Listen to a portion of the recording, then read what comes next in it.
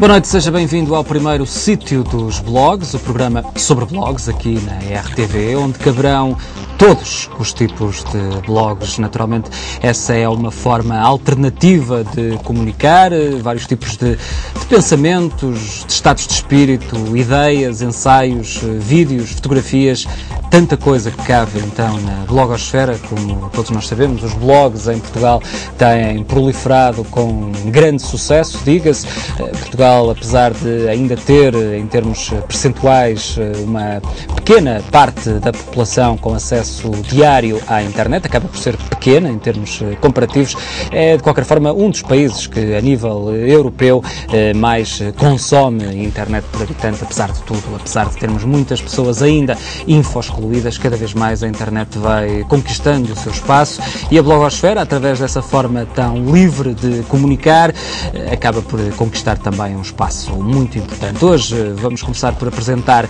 alguns blogs que seguramente nos irão acompanhar ao longo destes programas, sendo certo eh, que teremos algumas edições mais temáticas. Hoje vamos fazer uma apresentação geral de alguns eh, dos blogs eh, mais vistos, seja pela sua relevância, seja também pela sua especificidade, como já veremos mais adiante. E para começar, vamos pegar num dos blogs mais, mais lidos, mais vistos, mais visitados na internet. Falo-vos do blog Arrastão. É então este o blog que temos agora aqui connosco. Um blog, tal como muitos outros, tem a particularidade de ter vários autores. Eh, este blog inicialmente não tinha tantos, mas depois eh, foi, foi, foi jun, foram-se juntando eh, mais autores, digamos assim.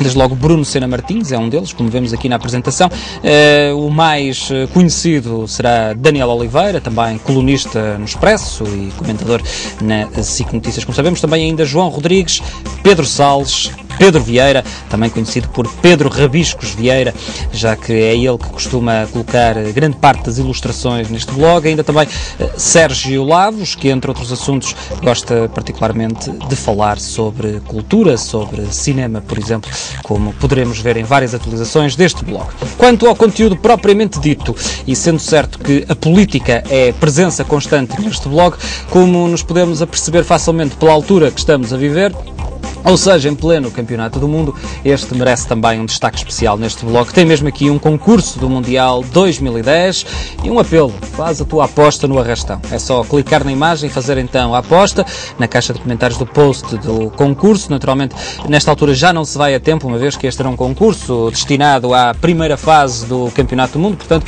as apostas teriam que ser feitas antes do início do Campeonato do Mundo e relativamente aos resultados da fase de grupos. Fase de grupos que está praticamente a chegar ao fim, como se sabe nesta altura. Portanto, a haver eh, mais eh, concursos, esses terão agora que dizer respeito à parte mais eh, decisiva da prova, ou seja, dos oitavos de final em diante. Mas para além da política, para além do futebol, Há também muitas referências com eh, muitos eh, recursos multimédia, como é o caso deste trailer de um filme que está neste momento nas salas portuguesas, O Segredo dos Seus Olhos. É um filme argentino, é uma sugestão de Daniel Oliveira, precisamente, que escreve aqui que nos queria falar então de um filme, chama-se O Segredo dos Seus Olhos, de Juan José Campanella. É argentino este filme ganhou o Oscar para melhor filme estrangeiro. Escreve então Daniel Oliveira que a sua suavidade pode ser confundida com facilidade, o que do ponto de vista de Daniel Oliveira é um erro. Conta-nos então a história, em traços gerais, um funcionário judicial e uma magistrada que vivem durante anos uma paixão platónica nunca consumada, habituam-se a viver assim, com palavras por dizer, apenas denunciando-se pelos olhares. Sendo uma paixão que não se confronta consigo mesma, nunca chega também a consumir-se. Está ali parada, encalhada. Parece-me, diz então Daniel Oliveira, que nem chega a perturbá-los, acompanha-os apenas. Há também um colega do protagonista, Pablo Sandoval, interpretado pelo ator Guilherme Francella, que é alcoólico, que vive também ele uma paixão que o degrada, neste caso pelo álcool, não a enfrenta, está apenas encalhado nela, vive-a e pronto. Um dia, Benjamin Spósito, o ator Ricardo Darin, tropeça num crime, uma violação seguida de homicídio, talvez pela brutalidade do que vê, talvez pela beleza da vítima, talvez pela paixão que ela vivia com o seu marido recente, aquele caso torna-se numa obsessão. Acabará por encontrar o culpado, mais uma vez é o olhar que denuncia e por conseguir a sua condenação, graças a uma paixão do criminoso que o leva a ser imprudente. E essa paixão, imagine-se, é o futebol. Aliás, essa importância vai oferecer ao filme uma sequência para a antologia do cinema. Enfim, várias considerações que vão desembocar então aqui na parte política e histórica do filme. É que o violador homicida será solto para trabalhar para aquela que era conhecida como a Tripla A, a Aliança Anticomunista Argentina, um grupo paramilitar que recuperava criminosos para os usar na repressão a ativistas de esquerda, isto durante os anos 70. Isto passa-se durante a presidência de Isabelita Perón, a última mulher de Juan Domingo Perón e a sua sucessora no poder entre 1974 e 1976. O governo de Isabel tinha forte presença da extrema-direita, a mesma que viria a apoiar o golpe da junta militar de Videla. Voltando ao filme, diz ele então, Expósito e a magistrada terão de fugir para não sofrerem as consequências de investigarem um operacional da AAA. O amigo alcoólico será quem se sacrifica por eles. Isto desemboca também num ponto da história que também se confunde com a história dos campeonatos do mundo de futebol, uma vez que em 1978, precisamente com a Argentina a viver esta ditadura militar, o Campeonato do Mundo eh, realizou-se no país das Pampas e a Argentina foi nesse ano a campeã mundial, jogando em casa, conquistou aí o seu primeiro título mundial e esse está muito longe de ser o título que a Argentina mais mereceu. Foi muito mais justo de 86 com Maradona, em 78 os eh, roubos de de igreja, essa expressão eh, tornada famosa por José Maria Pedroto foram mais do que visíveis, com a Argentina a ser muito beneficiada, eh, precisamente por causa do regime que se vivia nessa altura no país. Então, esta terrível ditadura, que aliás, eh, durante eh, esses anos 70, acabava por ser a normalidade, infelizmente, na América Latina. Diz então Daniel Oliveira, entre outras coisas, que não nos conta mais sobre, sobre o fim do filme que está ainda em exibição, para além da sua simplicidade comovente, para além das interpretações magníficas de Ricardo Darín e Soledade Villamil, vale a pena prestar atenção a esta história sobre a memória e sobre o silêncio. Para responder à pergunta, e se tivéssemos feito alguma coisa para ser diferente e o que podemos fazer agora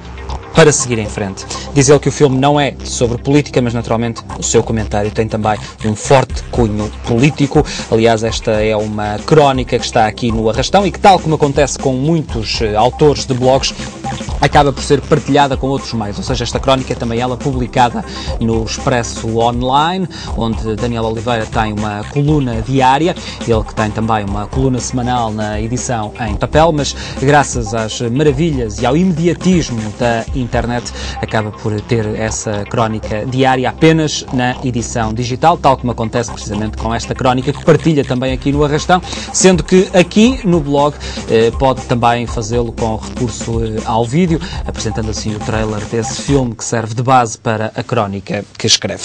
Depois, há também ainda alguns comentários relativamente ao concurso de que já falei na apresentação deste blog, aquele concurso para apostar então nos, nos resultados da primeira fase eh, do, de grupos deste campeonato do mundo e então aparecem-nos aqui os resultados desses eh, eh, concorrentes, então, alguns com nomes verdadeiros, como é o caso aqui de Miguel F. Carvalho e Pedro Vieira, outros, enfim, com alcunhas também, como podemos ver, entre eles aqui um Portela menos um, naturalmente brincando com a sua alcunha, com a opção de construir um aeroporto em Lisboa ou não, a célebre opção do Portela mais um, ou seja, manter o aeroporto de Lisboa e ter como, como suporte também a base aérea do Montijo, por exemplo, para os aviões low cost, que era também uma das uh, opções apontadas.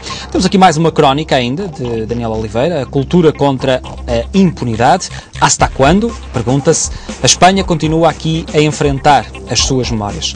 Pedro Almodóvar, Maribel Verdú, Javier Bardem, Almudena Gandras, Juan Diego Boto, María Galeana, Carmen Maggi, Juan José Milas, Aitana Sánchez Rijón, Oaco León, Pilar Bardem, José Manuel Seda, Hugo Silva, Miguel Rios e Juan Diego dão voz a 15 vítimas do franquismo. É então o vídeo da plataforma contra a impunidade. A Espanha continua a enfrentar as suas memórias depois da condenação do juiz que tanto lutou contra essa impunidade, o juiz Garçon, que, como se sabe, chocou o mundo. Vemos aqui precisamente neste momento o testemunho do conhecidíssimo realizador espanhol Pedro Almodóvar, um dos gênios do cinema.